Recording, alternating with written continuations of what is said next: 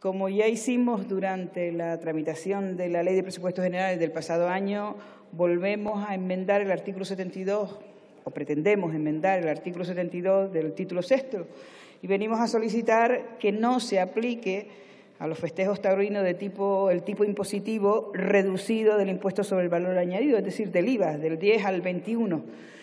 Y lo hacemos por varias razones. La primera de tipo, de tipo normativo.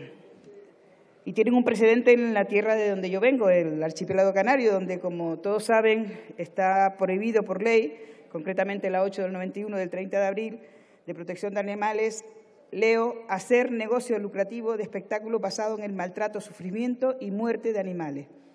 Solo existe en esta ley una excepción, que es la riña de gallos, la de gallos, perdón, la pelea de gallos, pero esta actividad, dice la propia norma, que debe tender a su desaparición natural mediante mecanismos normativos que impidan su expansión, ya sea prohibiendo el fomento de estos espectáculos por las administraciones públicas, no autorizando nuevas instalaciones o no favoreciendo la transmisión de estas aficiones a las nuevas generaciones mediante la exigencia de que se desarrolle en locales cerrados y prohibiendo su acceso a los menores. Esta, evidentemente, es la normativa de Canarias. La normativa estatal, ¿qué dice? Pues la normativa estatal excepciona precisamente en esta, en esta ley de protección animal el festejo taurino. A pesar de que el debate sobre este tipo de espectáculos se ha convertido en una eh, en una constante en los últimos años gracias al necesario aumento de la conciencia animalista que tiene nuestra sociedad. Sin embargo, las administraciones públicas siguen eh, propiciando el mantenimiento de actividades y espectáculos que producen sufrimiento a este tipo de, mamíferos que, según un amplio consenso en, en la comunidad científica, son capaces de expresar un dolor y una angustia muy similar a las experimentadas por los seres humanos. La segunda de las razones que esgrimimos es de tipo político. Los espectáculos taurinos suponen un volumen de ingresos que no es demasiado significativo, repito, no es demasiado significativo en relación a otras actividades grabadas por el IVA, lo que deja entrever que la decisión de este Gobierno al, mantener este tipo de actividades en el cuerpo de la ley de presupuesto obedece obviamente a razones de índole cultural y político y no exclusivamente económica. Y en relación a este último punto queremos esbozar la tercera de las razones por las que hemos presentado esta enmienda que es la de índole eh, cultural. Nuestro planteamiento es claro, creo que nítido. No desmerecemos en absoluto el cuerpo cultural que ha acompañado durante nuestra historia reciente a la, a tauromaquia.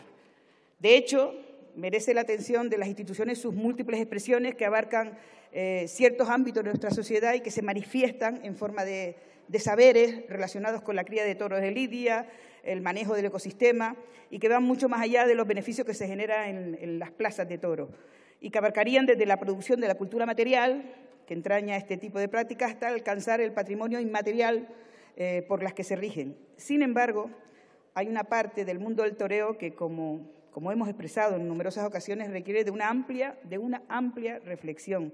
Y esta es la, que, eh, es la parte que tiene que ver con la crueldad animal.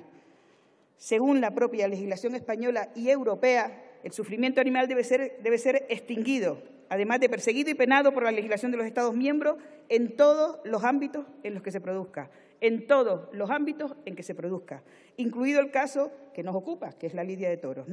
El objetivo es lograr el cese de aquellas prácticas que resultan lesivas para los animales. Y este no es un problema lo digan o no los tribunales, no es un problema de competencia, es un conflicto de derechos que tiene que ver con el abandono de posiciones antropocéntricas que han eludido el cumplimiento de los estándares que definen el bienestar animal bajo el, fino, el fino telón de la cultura, de la productividad económica y de la ideología política.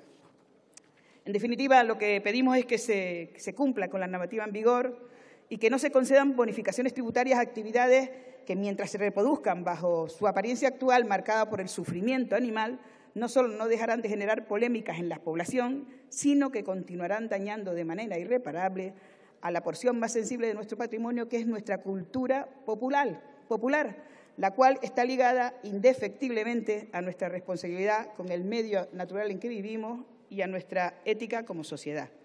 Esperamos que, que esta vez se tenga bien admitir una enmienda que quiere sumarse de una manera constructiva a un debate complejo, lo sabemos, pero necesario para determinar de manera o la manera en la que la cultura nos define como pueblo. Muchas gracias.